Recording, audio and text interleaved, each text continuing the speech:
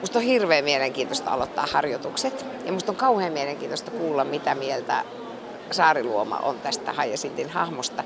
Ja kun mun mielestä, mä en ole vielä ohjaajan kanssa jutellut, mutta tota mun mielestä meidän pitäisi yrittää olla niin paljon samanlaisia kuin siinä sarjassa ja niin paljon samanlaisia kuin nämä henkilöt on, koska ne on niin legendoja ja ne on niin jotenkin käsitteitä. Niin ei me voida ruveta, en mä voi tämän näköisenä ruveta näyttelemään Haijasinttiä enkä Jaanana, vaan mun täytyy ruveta miettimään Haijasintin laille ja meidän täytyy ohjaajan kanssa puhua paljon äänestä ja, ja ihan eleistä ja liikkeistä, vaikka se on niin kuin sielullinenkin asia, että minkälainen haijasinta oikeasti on ja mistä kumpuaa se, että hän haluaisi olla parempi kuin hän on, hän, hän esittää parempaa kuin hän on ja kuitenkin hän uskoo täydellisesti siihen itse.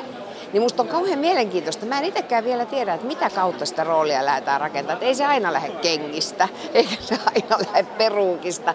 Mutta musta oli kiva, että mä sain tehdä nämä kuvat nyt näin paljon ennen kun me aloitetaan harjoitukset. Ja mä joudun jo niin kuin etsimään vähän asentoa ja ajatusmaailmaa ja sitä, että mitenhän mahdollisesti nyt on.